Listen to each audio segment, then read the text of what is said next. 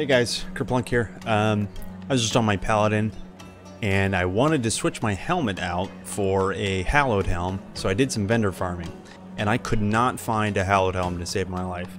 So I, I wished, I thought to myself, why can't I just make one of these things? I'm just testing out a build. Uh, if you don't have any in your stash, you're kind of screwed, right? Well, not true. if you go over to the TQ Vault um, GitHub page, they released a new uh, update about five days ago. I'll put the link in the description. If you don't know anything about Vault, definitely head here and check it out. It's a hoarder's dream. Um, you can save everything.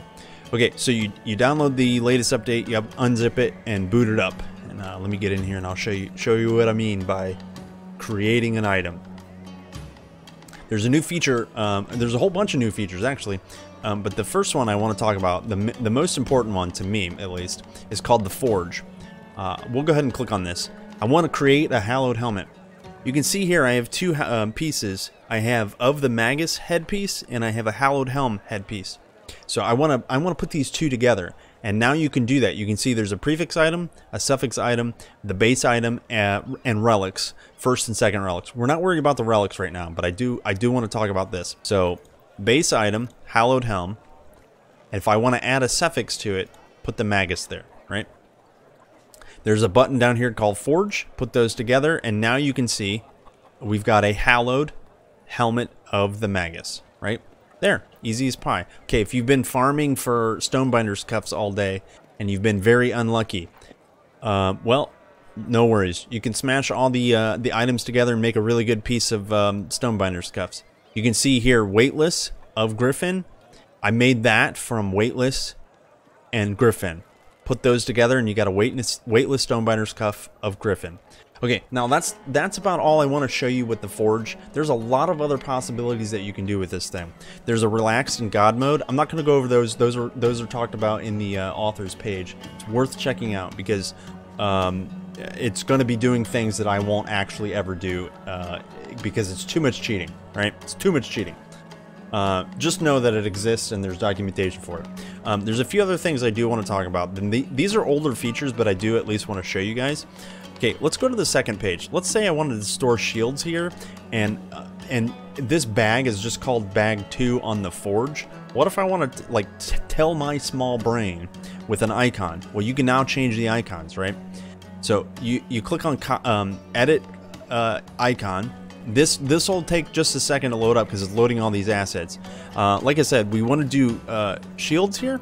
You go to the bucklers tab and just pick any shield, right? You just drag it to the uh, the image tab here. Um, now you can use the default, which is what we're already using, or um, to change it to a custom. That's what we do here. We do a custom icon. You can also keep the number, which I think I want to do. And then if you want a pop-up, a tooltip to display, we can type here, and I'll just show you what that looks like. So now we're, now I know if I hover over it, it will say shields, right? We hit apply, and now you can see bag two is now a shield, and you hover over it and it says shields, right? Easy. If I want to copy this configuration, you can do that, copy configuration. If I want to make bag 12 um, to have the same configuration, you hit paste configuration. There we go.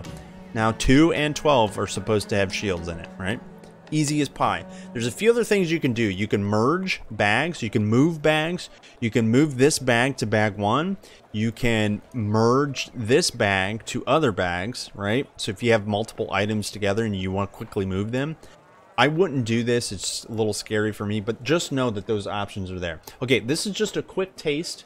And one last thing, there's an item filter down here.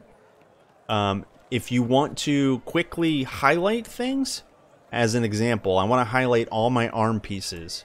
You hit you hit arm pieces, hit apply, and then after a few minutes it'll it'll go through your entire stash and it'll highlight all your arm pieces. Right? There's my three arm pieces in this in this bag. It's pretty easy. It's a quick search. It's not the best, but it's it's a nice feature. Um, okay, that's about it for the scope of this video. Uh, thanks so much for watching. Uh, uh, make sure you subscribe on YouTube, follow me on Twitch, and uh, I hope to see you in the next one. Bye!